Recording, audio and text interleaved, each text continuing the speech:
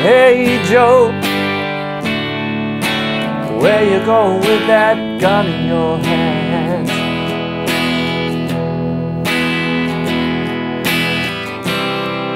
Hey Joe, where you going with that gun in your hand?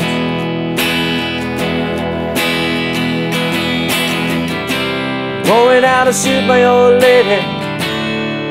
I caught her with another man. Hi guys, Andy here again, and in this lesson we're covering how to play Hey Joe by Jimi Hendrix.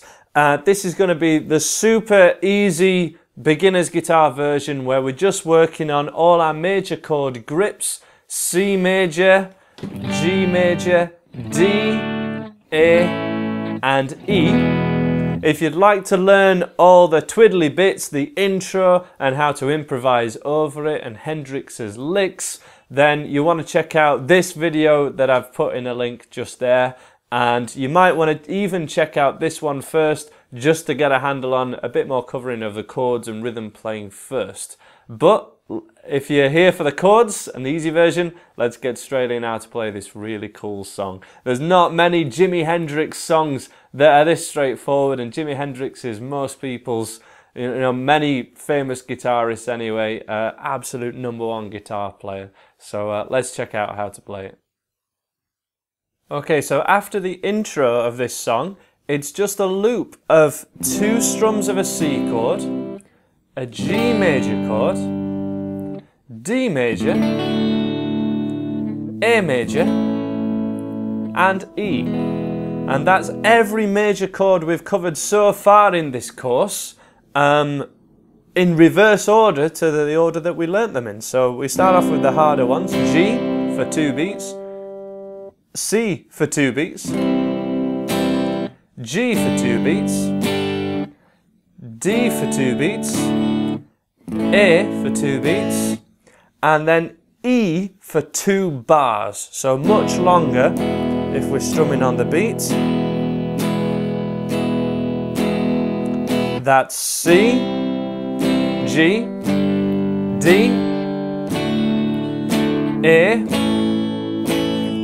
and E.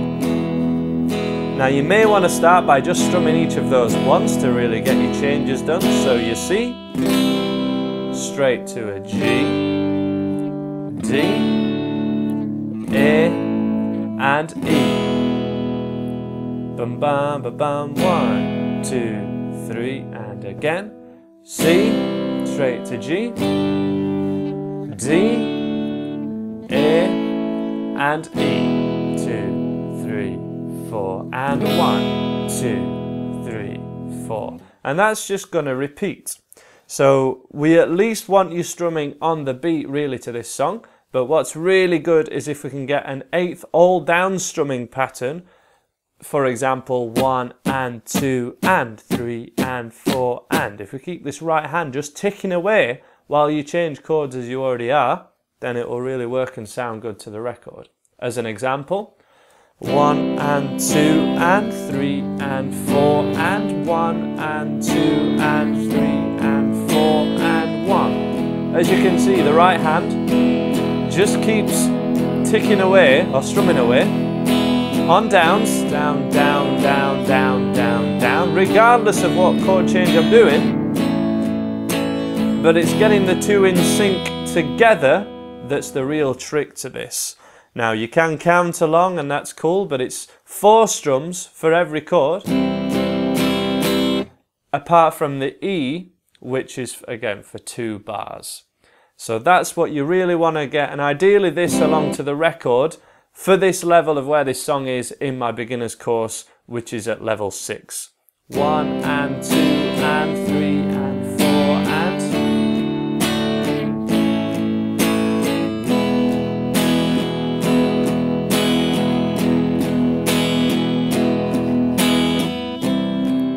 Hey Joe where you going with that in your hand? Now, the C to G, there's no anchor finger at all, and we need it to be a full normal C chord to a full normal G chord. But from the G, we have a third finger anchor. Third finger can stay down on this change. And then the D to A, the first finger can anchor if you play it like this.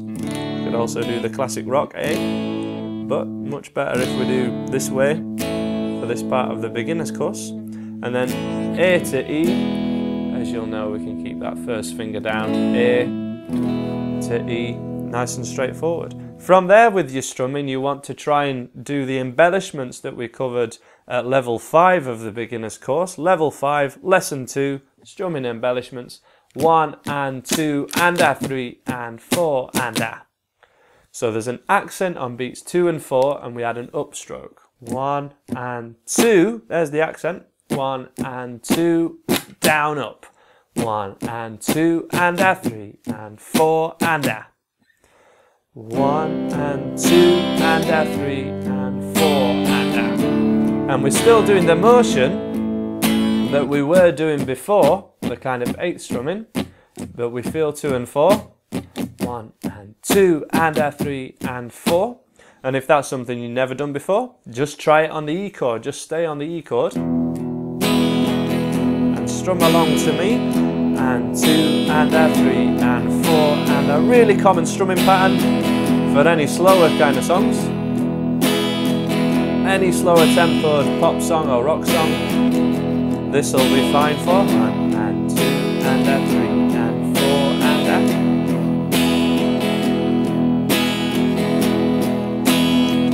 And then you could stay on each chord a little bit longer. But keep them in the same order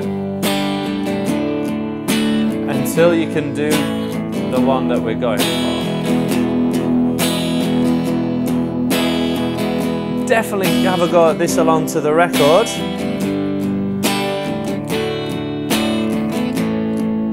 If that's something that you're able to do.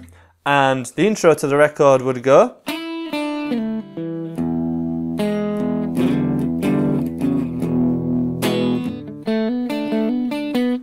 And that's where you start with your C chord after the dum dum Hey Joe.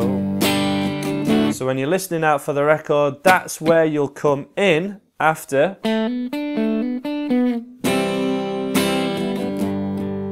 And if you do want to learn those extra little bits, do check out the other video, um, which I've done to show you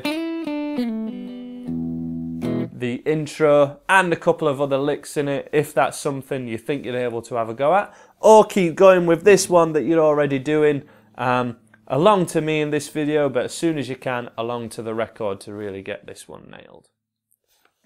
If you like this lesson, do subscribe for more free guitar lessons straight to you as soon as they're uploaded. And check out the website for the free guitar beginners course, including a free beginners ebook that accompanies that course every step of the way, all available at andyguitar.co.uk.